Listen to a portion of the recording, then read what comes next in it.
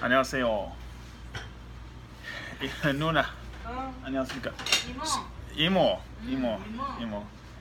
Hey guys, Matt Jones, and uh, it's uh, the 17th of February. I'm in Seoul at uh, one of my favourite restaurants with my favourite Imo. 네, 이모.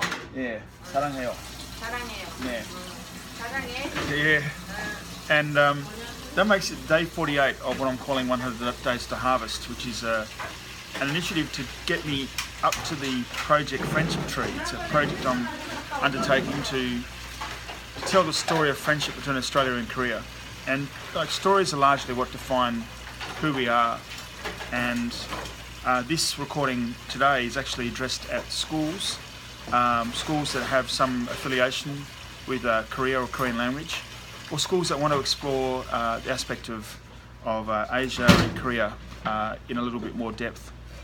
And um, my mind, of course, goes out to a good friend, uh, Fiona Pira, out at uh, St Andrews Public School. So, Fiona, uh, I'll be sending this to you first, and uh, look, look forward to your advice about how to best to prosecute this um, this discussion because uh, I need some I need some help navigating it through. Let me explain. So, uh, yeah, I guess yeah, yeah. So, Imo was just saying uh, what Imo means, of course, and it means auntie. And so, a lot of schools, uh, part of the way they address Korean studies is through language.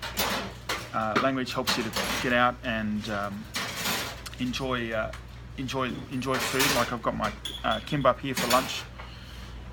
So it's a it's an entry point into culture and understanding culture is an is an entry point into a broader education.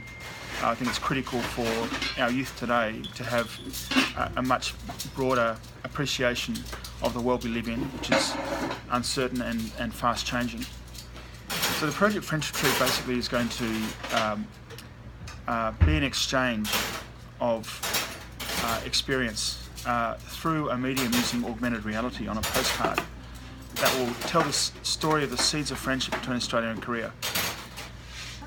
Uh, I'll send a, another video attached to this that will give some broader information about that. So basically, what it will look like is is a is a postcard. On one side will be a picture, which through a handheld device, uh, that will be able to be um, uh, accessed, a digital digital image with with uh, photographs and a narrative that will that will tell people the some some of the early stories of friendship between Australia and Korea. And there'll be some other information on there too, such as some of the more contemporary stories that people have. What I'm interested to know is what's your experience as a school um, and how best could you engage with a project looking at the story of friendship between Australia and Korea.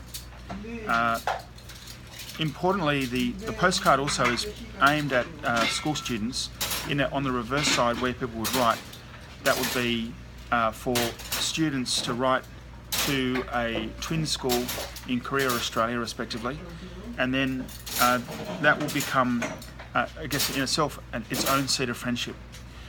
So, basically, putting out there for, for you to be part of the journey, for you to be part of this experience, uh, I'd like it to be something that brings value to the school, that um, that helps uh, you in in uh, in what you're trying to bring to the students, uh, an experience of getting to know uh, culture, Asia, language a little bit better.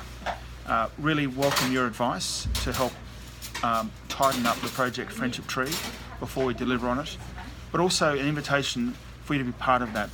So I'd like uh, to know uh, whether you'd like to be involved, uh, what you think that might look like, uh, whether you've already got an existing relationship with a school in either Australia or Korea, and uh, and how how it might be best to communicate to the school.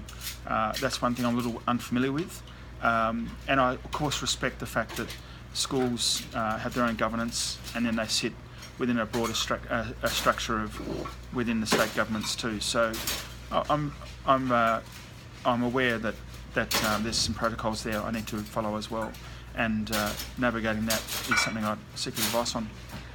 I'm going to get into my lunch. Um, looking forward to hearing your stories, uh, Fiona. It's been great to uh, build that friendship with you and, and meet your students and see the great work that you're doing at St Andrews Public School.